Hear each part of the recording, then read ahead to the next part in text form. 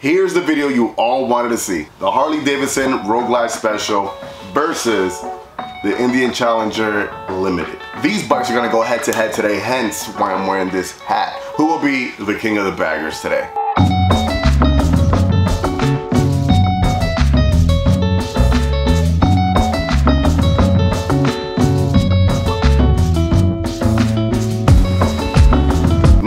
Say which bike is gonna take the crown today. So what we're gonna do is that we're gonna break this video up. We're gonna do a walk around of both bikes first. And then we're gonna take them on the road, give you guys that on-hand experience on both bikes, letting you know what I like and what I don't like about each bike. Riding fundamentals, technology, brakes, suspension, power, just, and it's all gonna unfold right here. Now, we often get the perception that Harley Davidson is always the most expensive product out there and it's out of the reach of the average Joe, and it's a lot more expensive than Indian products. And in, in this situation, no, it's not. Now, the special is gonna start at $27,999. Challenger is gonna start at $28,499. So this bike off the bat, it's a little bit more expensive. Not too much, but it's more. And in my eyes, if you wanna compete you need to compete with the price either at the same level or even just a little less. Now, what are you gonna get with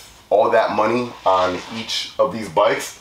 It's a lot. These bikes are expensive, yes. So if and when you are looking into buying any of these motorcycles, you really wanna sit down and take a look at what each bike has to unfold what does this bike have to offer compared to this bike. Now let's talk about motors, displacements, and torque real quick. This bike right here is gonna come with the Harley Davidson Milwaukee 8 114 engine. The Indian Challenger is gonna come with a smaller displacement, but more torque. So this bike is gonna come with the Power Plus liquid cooled 108.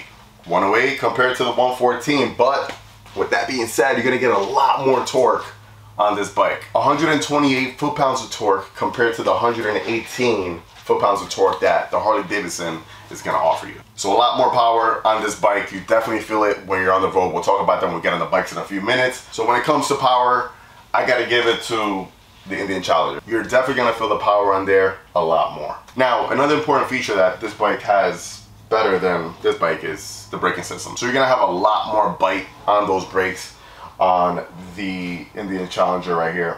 Believe it or not, suspension is also gonna be better on the Indian Challenger. Indian Challenger is gonna come with Fox suspension from factory, uh, monoshock on it as well. Um, a lot better than the Harley Davidson Road Glide. Now the Indian Challenger has better brakes, better suspension, more power. You must be saying to yourself, damn, all the boxes are being checked off for Indian. Um, we're gonna go into a few things now where Harley Davidson is gonna blow Indian out the water. So when it comes to fit and finish, there, there, there's just no comparison. Just the feel, the touch of the product on the Indian uh, comes nowhere near to what Harley Davidson has to offer. Um, you're gonna get the premium on here. Everything looks and feels expensive. Everything feels good to the to the touch. Everything has a nice, perfect click to it. Everything just comes together mends together a lot nicer. Uh, the fitment is a lot nicer than what you're gonna find on the Indian Challenger. Another thing that I like a lot more on the Harley Davidson is that the infotainment system is a lot cleaner. It looks more premium. Now I know some of you guys are gonna say, well, it's just fitment and everything and this and that to the feel. But when you're paying that much money for a bike, you wanna make sure that your expensive bagger is gonna feel like what it costs. So fitment and touch and finishes, Harley Davidson has it. Both bikes are gonna come with six gallon gas tanks. Both bikes being baggers, obviously gonna come with the bags in the back. Um, I like the Harley Davidson bags a bit better. I think it's, it's a cleaner look as well. Um, what, what I do like about the Indian is that Indian does give you a key fob with a lock on it so you're able to lock those bags where in this option here, you're only going to have that option with Harley if you buy a CVO, and that's a lot more money than what this special is going to be. So it just gives you a nice little option from factory uh, at the same, almost same level price point as this bike right here. Uh, but it's a nice little feature. I like the fact that you're able to walk away from your bike, lock your bags, boom. Yes, you are able to lock these bags, but you got to do it with the key, old school, but whatever. Let's just talk about the looks department in general. Which bike is gonna look the best? Um, let's be honest here, guys. I, am yes, I am a Harley Davidson owner. I love Harley Davidson, but I also love what Indian has been doing for the past few years. I love the product that they've been coming out and giving out to the consumers. Um, so I'm, I'm, a fan. I'm a huge fan of Indian, the brand. I, I, love what they're doing. And when it comes to looks, you can say that, hey, you put both bikes side by side. There are some similarities. Some would even say, hey, Indian kind of copied Harley. Um, I'm not to say they copied them because this is its own thing. It has its own identity. Um, what I will say is that you'll be dumb to think that Indian didn't take any notes from Harley in order to make this bike. This bike was literally made to compete with the Road Glide right here. That's the main reason why this bike was born. It wasn't just born out of thin air. Hey, we're gonna make this bagger now. It was born to compete with the Challenger. But yes, they did take some cues from its identity. So, looks department. Um, and I'm not even, I'm not gonna be biased. I, I gotta say it. When it comes to the looks department, this this bike looks a lot better than this bike. It, it, it just does. Beautiful bike right here. I think it's an awesome design, but comparing it to this, this is just, the lines on this bike flow a lot nicer. Everything is well just put together, well thought out. On the Indian, there's a lot of like, the lines are kind of like all over the place. A lot, it's boxy, it's round, it's straight in certain areas. It's like, it's just a lot. So when it comes to the design point of it, this bike has it from a mile, it just, it looks better. So we spoke about the design, we spoke about brakes, suspension, power. Let's just get on the road so I can give you guys an on-hand experience of what it feels like to be on each bike. Obviously this bike has a lot of different components that a stock bike would have because I've just done a bunch of stuff to this one. So let's talk about performance real quick. Because on this bike, Sounds nice, right? I got the Chrome Works dual exhaust system on here. Sounds great. Um, I also have a stage 2 fueling 465 Reaper cam in this one. So, that's the reason why that bike sounds like that. The reason why this bike has a lot more power than what it did before um, from stock. So I did mention before that the uh, Challenger does have uh, better suspension, right? Better braking. That's not to say that those components on here suck. They don't suck, but the ones on the Challenger are just better. Indian made a great product. But there's just something about being on this bike right here. The whole design of the fairing, the whole design of the bike, the culture behind Harley Davidson feeling a part of something that has been around for so long. It's part of the culture. And you won't understand until you've experienced the culture. That's the thing about Harley Davidson a lot of people just don't understand is that it's it's more than just a bike. It's more than just a company. It's just it's the culture around it and you really need to experience it. Now I know that I said some of the components on the Indian Challenger are way better, but this bike, I love riding this bike. It feels great. And then here, here's like probably one of the most important things that Harley Davidson is going to have over Indian, and that's the aftermarket. There's tons of parts that you can get for any Harley Davidson on the market.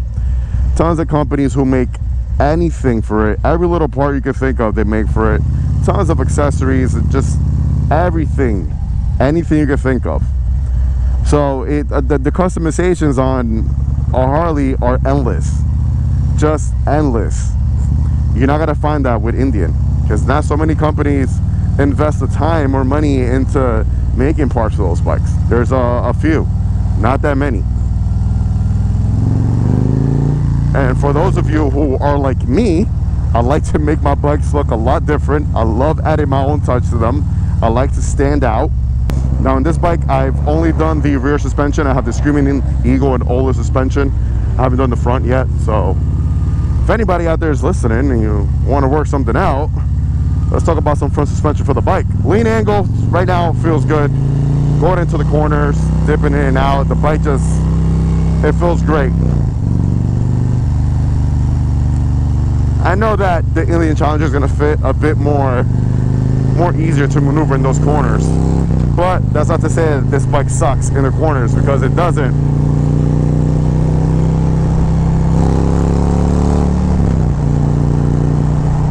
Let's talk about comfort real quick. Now that we're just talking about suspension, um, stock seat on the Indian is going to be better than now. Right now on this bike, I currently have a Le Pera seat, which I love. This Le Pera seat is way better than the stock seat that Indian has to give you on the Challenger. But when it comes to stock seat to stock seat, Indian is, is gonna is gonna take is gonna take the win. Now, one thing I was talking about before was infotainment system. So you can see here everything is like well displayed. There's everything right in front of you. Front of music, same thing. Navigation on here, music, Bluetooth. You're gonna have that on both bikes. This screen just looks a lot better. Um, it looks more premium. Now this bike right here is to come with the Harley Davidson RDRS system, uh, Smart Lean technology, uh, which Indian also offers on uh, on their bike. They call it Smart Lean, I believe. Uh, so it's like a similar similar package, riding enhancement, um, helps you in the corners. Um, if your bike feels like it's gonna slip out or something, it just kind of adjusts itself in a way. Um, so it's, it's, pretty cool, pretty handy. Um, I urge everyone to, to get it. Um, it's, it's saved my butt once or twice, especially in the rain. Um, this bike is also gonna come with a rain mode. Uh, Indian's gonna come with three modes though. Uh, standard, rain, and sport. This one is not gonna have the sport mode but you're you do have the option just to put it on rain mode this bike also has the hill assist which is awesome so there there, there is a, a, a ton of tech that people don't seem to uh, see at times or they just overlook it but this bike does come packing a lot of stuff. The uh, brake link system um, which kind of helps you apply braking to the rear and the front it kind of balances out for you. So if you're you're grabbing maybe too much from the front or too much in the back and it's not leveled out it'll it'll adjust and it'll kind of level it out. Um, so that's that's pretty cool the thing i'll tell you is that this bike is a joy to ride it's fun to ride one thing i'll also add on is that this bike runs a lot more cooler than the indian challenger even though that bike is a liquid cool bike it's gonna run a lot hotter. So right now at this point, I know damn well that bike would have been burning my leg in the back. It just runs super, super hot, really hot. This bike, not so much. Not to say that this bike runs super cool because it also doesn't. I mean, you, you, you do get some heat from it. But the heat that you're gonna get coming off from the Power Plus engine on the Indian Challenger is gonna be a lot more than what you're gonna feel on here all right so now on the indian challenger one thing i'll point out from the get and no it's not because my bike has some work done to it but um, there's a little bit of like a lag when you pull the throttle on this bike. On the harley davidson is going to be a lot more snappier. The power is going to be instant right there. Um, so the, the throttle response on the harley davidson is going to be better. Now yes comfort. I know uh, i spoke about it before. The seat on here feels great for a stock seat. Huge fan of it um, it, it's just uh, it just it makes you want to ride all day. There's a few things I hear that i just point out right? It just that, that i don't like. I don't like all the plastic stuff on here so this is not actual chrome. This is plastic. So that that to me bothers me because when you're comparing both bikes a lot of money. We're talking about a bagger. This is $28,000 I don't want to see plastic on here. And I know some of you might be like well that's such a little little thing to care about. I little stuff like that I care about so plastic here plastic there the mirrors I don't like too much either I don't like the design of them and they are a little bit shaky uh, this right here look I don't know what happened here but this is like velcro under there and it's like loose and it's plasticky. I mean, yes, there's there is plastic on the Harley Davidson, but it, it, it, looks good though. It looks clean. One thing that I will say is that I do like the setup on here though. I love the gauges on top. uh, where the screen's at down here in the bottom. Um, so the setup on here I love. I, I, I, really like the way it looks. Like I said before it comes with uh, Fox suspension uh, monoshock in the back as well. So it does absorb a lot when you're on the road. Um, it, it, it's way better way way better than the Harley Davidson suspension man. This bike just soaks everything up on the road kind of just floats on by and it feels great also the audio on here it it's a little bit louder than the Harley Davidson audio as well. Um, I'll, I'll, say that. The infotainment system right here, it's, it's okay. I prefer the Harley Davidson. It's a lot cleaner. This, I don't know, just the screen, it just doesn't, it could look better. It look, it could look more premium. This on here kind of just looks a little dated. Um, as far as all information on here, and the gauges, like you, you do have all your information on there as well. Um, no complaints on that on both ends. Uh, one thing that this bike is going to have that the Harley doesn't is this adjustable screen right here as you can see. Goes all the way up. Now I know both of these fairings do block a lot of wind off of you but this windshield being fully adjustable helps out a lot more. Uh, going into the corners this bike does feel a bit lighter um, this bike feels lighter in general so like, once again going into the corner you just you feel more comfortable on this bike just leaning it over um, but the bike in general even though they are heavy they're both around the same weight this bike for some reason feels lighter. It feels lighter to move around the garage when it's off. It feels lighter just to maneuver in town on slow speeds. So I, I, I, don't, I don't know what it is or maybe the way everything is just mounted on but it, it feels lighter. That's one thing that people always point out is that for some reason the bike feels super light.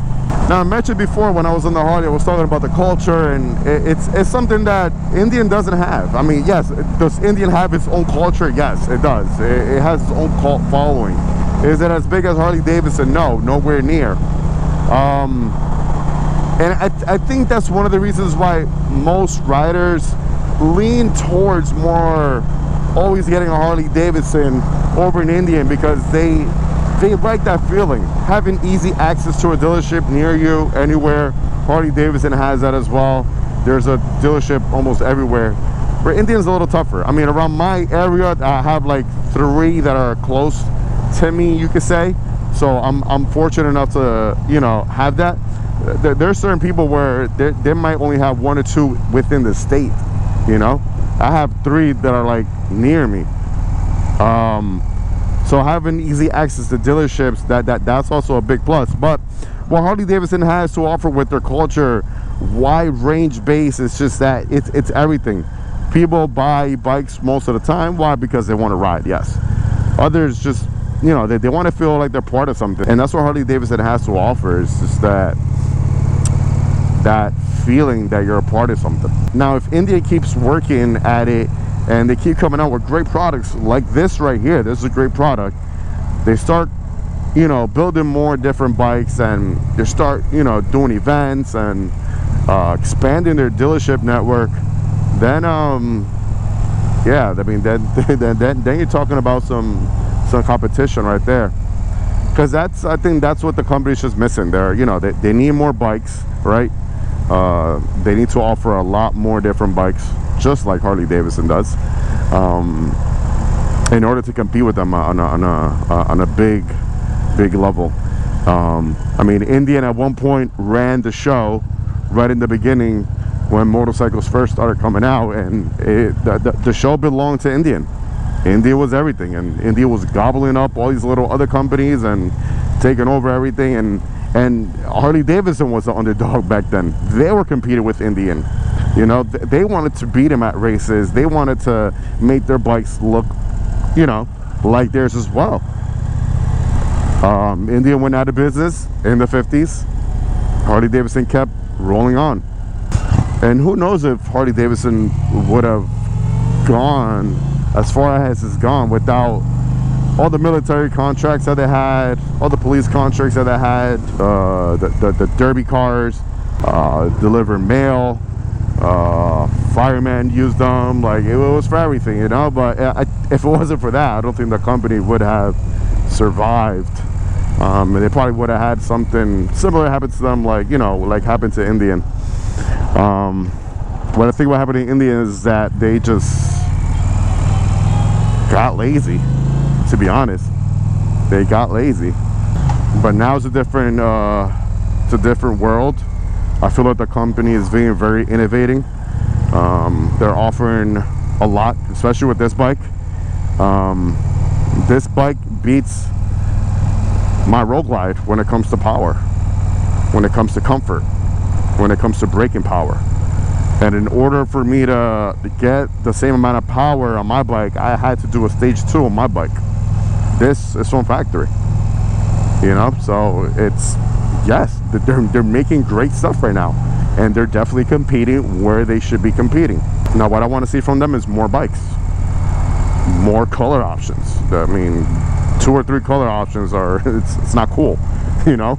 Um, just more options um, better quality product better better quality components you know then, then then we're talking when you have all those all those boxes checked off then you're gonna have a lot of people wondering well which bike should i buy which uh, which which is the best bike for me you know we'll head back to the garage right now we'll do a our last walk around both bikes and um and i'll give you my choice i'll give you my my decision of what bike I would choose today.